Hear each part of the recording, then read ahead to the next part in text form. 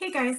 Okay, so a few days ago, I posted a video that sparked some conversation in both the MMA, BJJ, Jiu-Jitsu, and karate communities. I honestly had no idea it was gonna like bring so many comments and so much feedback. But basically, it was a video of me showing just a simple uh, two block pattern. So a soto uke followed by a gedan uke and like what could be done against a grappler. Well, that's the thing that I think kind of got everybody up in arms is because I used anti-grappler in the title and then I said, this is what we can do against a grappler. So before we start, uh, I'd like to define grapple. So the definition of grapple, I had to write it down, is engage in a close fight or struggle without weapons. There's one. Or seize or hold with a grapnel. Now, I don't know what a grapnel is, but it seems pretty serious. But never in the video did I ever say, like, this is what you should do against all BJJ fighters. This is what you should do against somebody who trains Brazilian Jiu Jitsu or Jiu Jitsu or any kind of Greco Roman wrestling or anything like that. It was just like, this is a video about somebody who grapples or who might tie up or who might go to grab you. Now, again, context is out. I'm going to address that. I get it. This was actually smaller spliced up video of a much larger video that we did with long range attacks, mid range attacks, the grappling or grabbing type attacks, um, multiple punch attacks, and it was simply utilizing this kihon, nihon, kata. That's all it was. Okay, calm down. Um, but what I thought was really interesting is that the BJJ, MMA, uh, Jiu-Jitsu community started to comment. And when they started to comment, um, some of the comments were like downright like nasty, foul language, um, cussing at me, you know, all of those types of things. In fact, I actually had to delete some of those comments. I have no problem with constructive criticism. I mean, like you have to have a pretty thick skin if you're going to post stuff on on YouTube, especially in the martial arts community.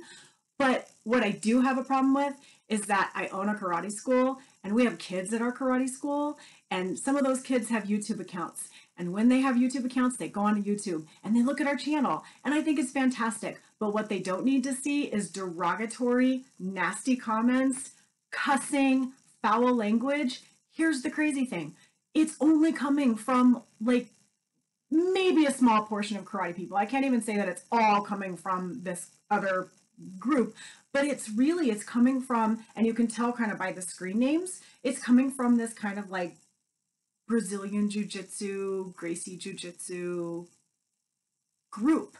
And I just thought it was really interesting. Um, and I'm sorry, I just I don't need some meathead making derogatory comments and then our kids seeing it. So I I had to delete some. So hey, criticize away. I'm totally fine with that. As stated, the context of the entire video was missing. I get it. It was spliced together. It was a minute long. Not a biggie. But you don't have to be a meanie about it. The other thing is, is that I just found this out was that it was also shared um, to a few different like Facebook groups, like karate Facebook groups, but um, particularly one that I didn't even know about, the moderator of the group shared it to the group. And they, um, I didn't know this. And so when I found this out, someone had told me about it. And when I found it out, they, uh, I went on um, the group and I looked and it had already, I think there were like 70 some odd comments. So I went on and I was looking at the comments and although some were constructive and and obviously again with the context thing, which I'll I'll address, um, they were for the most part very respectful, and it actually ended up kind of like sparking another conversation, not even particularly about the video, but just kind of like cross training and grappling and um, stand up fighting versus ground fight, like all of this stuff. And I thought that was really cool that that would just kind of um, take off on its own and spark some new different conversation so i i definitely um, i just kind of started posting videos even though our channel's been up for quite a while and um, we have over 6000 subscribers so i i'm just started posting myself but the I've never seen such a divide of the different communities and their comments.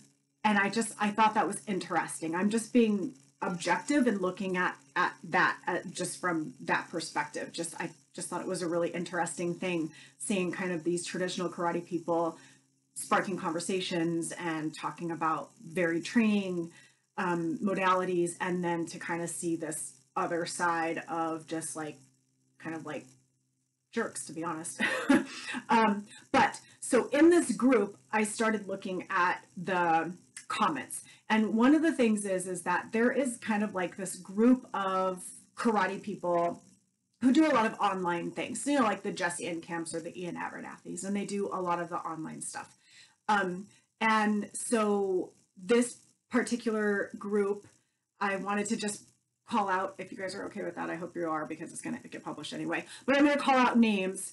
And um, it's because these are the guys that like I follow these guys. I watch their videos. I I do some of their training stuff and I think it's really cool that they're kind of having conversations about this.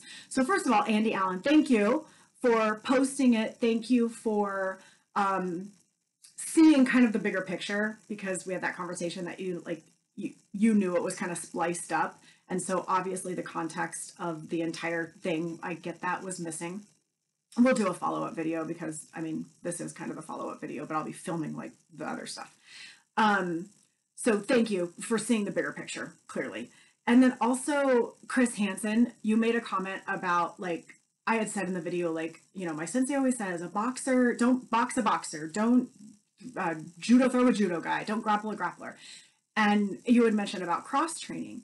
And I 100% believe in cross training. Um, in fact, in our dojo, uh, in in our dojo and in karate, and I don't know if some of you guys do this or not, like with your schools, but in karate we study the five elements. So that would be locking, throwing, grappling, choking, and striking. So we have to study all of those things. And I think a lot of people have a misconception that karate is just kind of like this linear stand up striking art, and that's all karate people do. Um, but there's so much more to it. And I think like when I was reading some of those comments, that's what kind of spurred that conversation was that there's just so much more.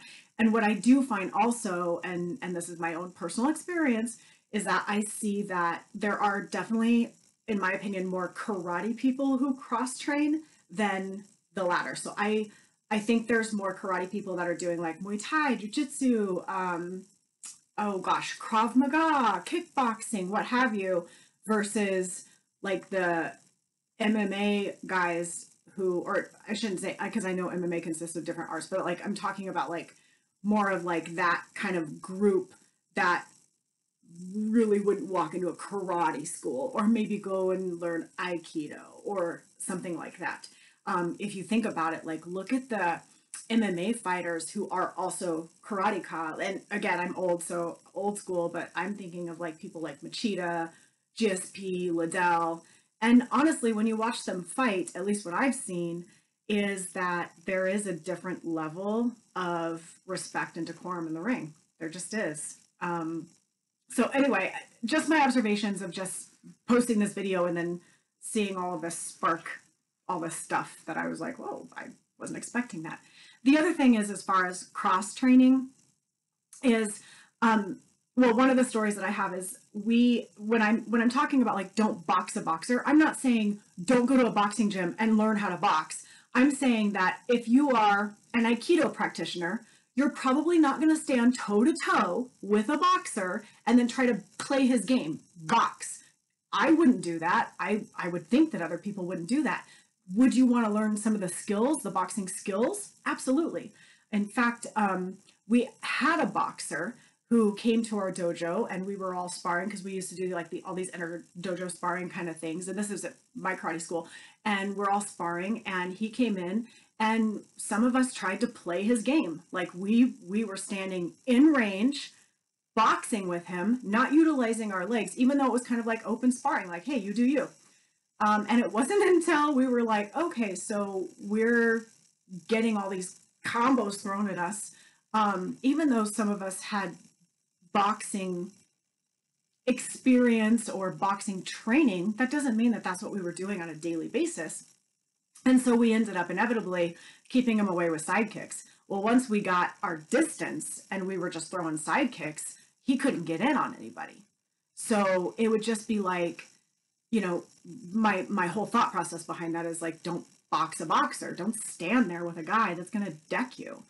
Um, the other thing is, is that Sensei Poage, and if you guys are subscribers to the channel or have watched any of the channel, I'm assuming you would know that Sensei Poage passed away three years ago.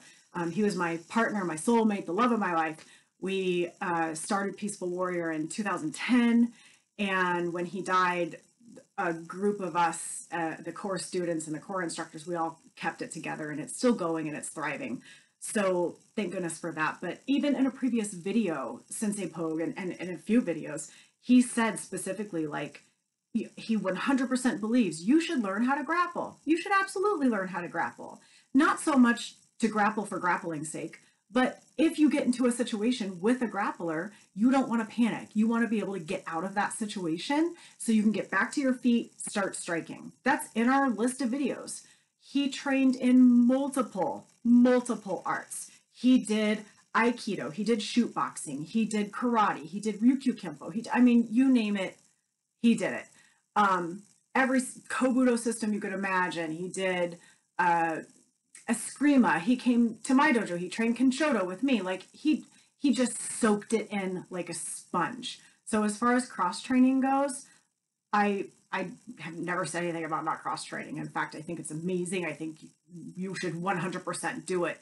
Um, and I do think that you should do it as long as it pertains to what your core is. You know, like with Sensei Poage, like his core was always Shorin-ryu. No matter how many systems he trained in, his core was always Shorin-ryu. Um, it's just like me. My core is Kenshoto, but I'm training in different systems as well. But I always that base. I think we we kind of tend we always go back to that base. So anyway, that's to Chris's point. Um, couple people that commented. Let's see, Daniel Pyatt, Matthew Deer, Mal Sanchez Jones.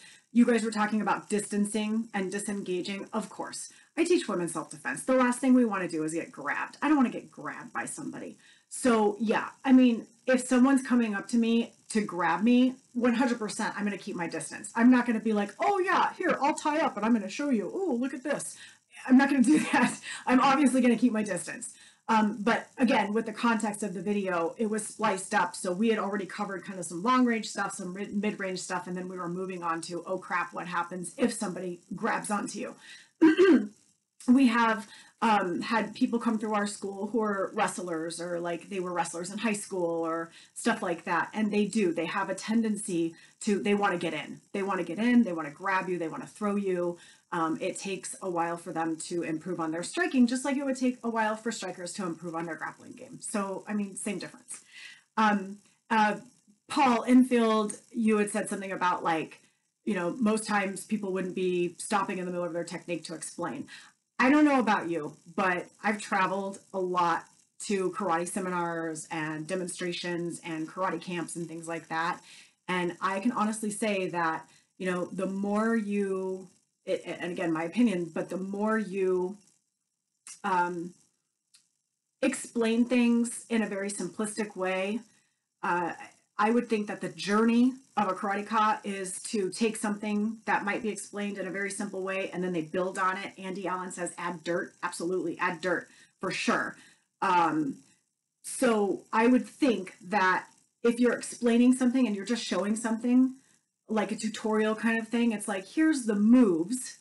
And now you should go out and you should see if it works for you, see if you can add your own spin to it, put it in your toolbox if you want it, but I've literally been at like camps, not just like Shorin-ryu camps, but I'm talking about like camps or big time seminars with like big time instructors where I'm standing next to like a fifth degree black belt and something that I think is like a simple thing, like a lapsao or something like that, they're like minds are blown. So I find more like explaining things simplistically is probably something that might help.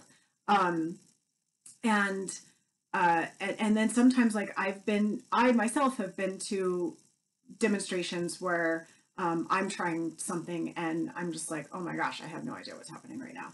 So, you know, people learn differently. Uh, and again, I think part of the journey is that you take something that you see and you run with it or you don't. You add your own spin, you try it out on different people, and you just see if it's something that you can use. Even if it's just that little nugget, um, you know, it's something that you might be able to use.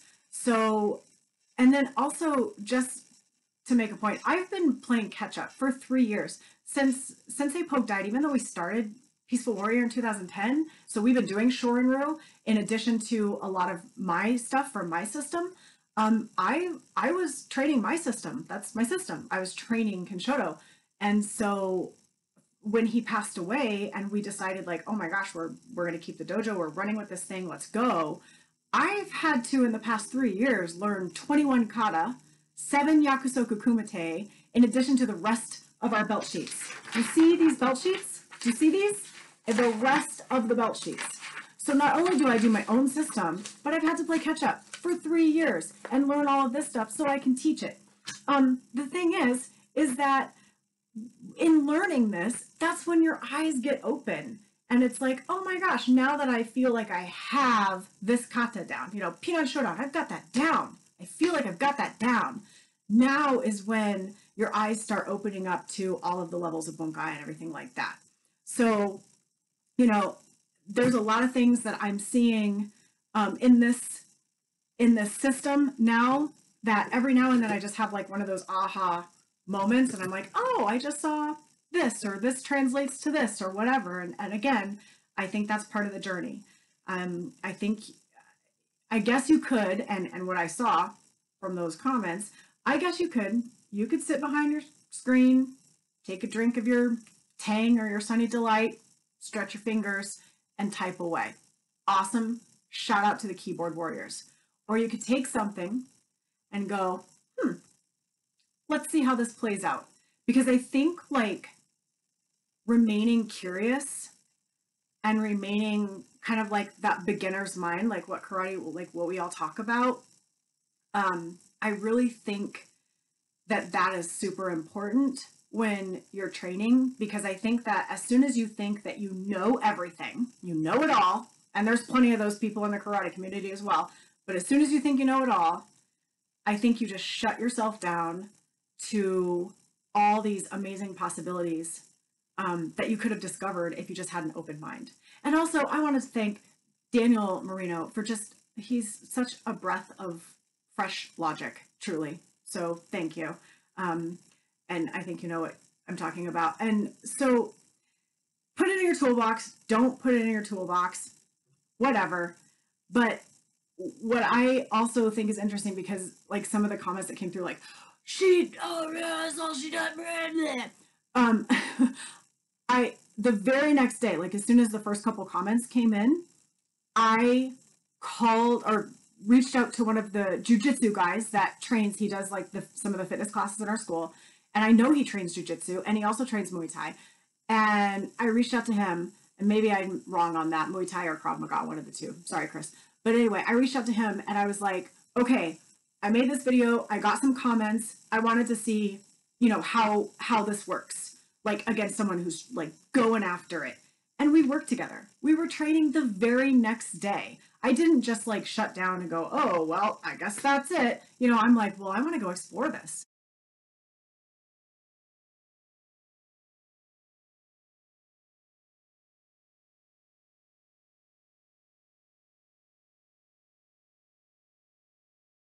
And that's the thing. I think that's what we should be doing. We should absolutely be going out and exploring these things.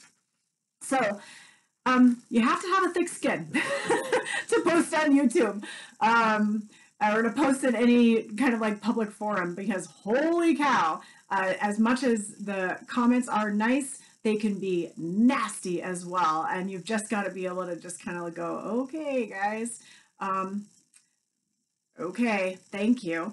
And um, so anyway, uh, this prompted me to make a new video and I will add the context and my goal is to also make sure that like we're we're trying it in different uh, arenas as well. The other thing is, real quick, sorry, I know we're I'm already going on almost 20 minutes because this is a this is a full on rant.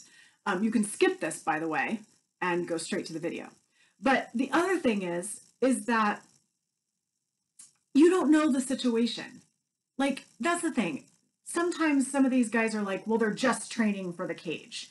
They're just training for competition. Like they're just training in the dojo there's so many different variables. And that's the thing is like, yeah, I can show you something or so and so can show me something. And realistically, there's, you know, are you protecting somebody? Are you protecting your family? Uh, do they have a weapon? Are you outside? Do you want to go to the ground on asphalt? I don't know. Maybe you do. Maybe that's all you know. Maybe that's the only thing in your wheelhouse is to take someone to the ground on asphalt. Okay, cool. You do you. Um, are there friends around? I mean, one of my friends actually got taken down um, and then got kicked in the head because some guy's buddy, his buddy, was walking around and and and he joined the fight. I don't know if a jujitsu guy wants to take someone down to the ground and then end up having a friend kick him in the head. I don't know. There's so many different variables. So when I show something, and I'm assuming this would be kind of with anyone, it's not the end all be all. It's just not. Um, Sensei Poage learned, Richard, learned from every source he possibly could.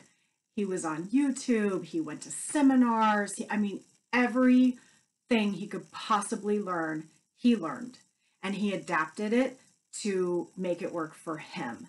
I mean, he had some pretty strong opinions he had some strong opinions about some of the instructors in our own school, but he never, ever would dismiss anything that anybody taught. Um, I just, I, I want to be like him, honestly, like to just be a total sponge and, and just continue the journey um, because I think that's what it's all about. So, first things first, now that the rant is over, we're going to check out the original video is, is that a lot of people don't see too much is what if we have a grappler? My sensei has always said, don't grapple a grappler, don't box a boxer, right? Don't try to judo throw a judo guy. So utilize your skills, what you have. If he ties up with me, I don't want to tie back up with him because now both of us are just kind of in the same position. We're gonna turn around real quick because I'm gonna use this for a strike. So my soto uke now, instead of a block, it turns into a strike.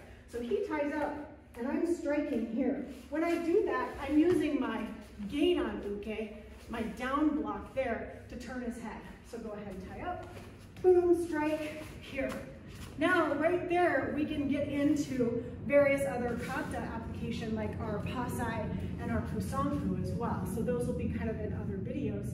But here, this, this uh, tie up, boom, here. Now watch, when I hold onto his arm, I've got this pinned. So I can do all sorts of other things. Okay.